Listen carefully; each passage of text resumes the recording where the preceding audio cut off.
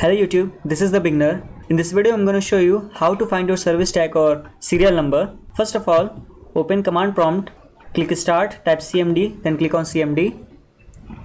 Now type wmic space bios bios space get space serial number then enter now here you can find your service tag or serial number if you like my video then please subscribe thanks for watching.